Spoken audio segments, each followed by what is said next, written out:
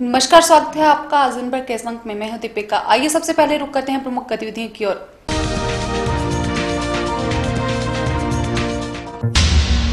महिला कांग्रेस की पूर्व राष्ट्रीय अध्यक्षा एवं पूर्व विधायक अनीता वर्मा ने निर्भया केस में लिए गए आरोपियों को फांसी दिए जाने के निर्णय का किया स्वागत। अनीता वर्मा ने निर्भया केस के बाद बाकी केसों में शामिल आरोपी लोगों के लिए भी सख्त निर्णय लिए जाने की कही बात।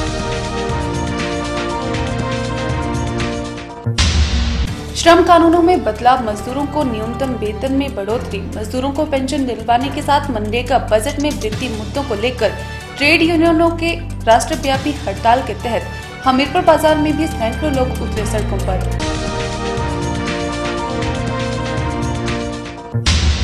भारी विरोध और प्रदर्शन के बाद हटाया जाएगा बस स्टैंड हमीरपुर के सामने स्थित खोखा मार्केट को। सभी खोखा धारकों को शॉपिंग कॉम्प्लेक्स में निर्मित पक्की दुकानों में किया जाएगा शिफ्ट।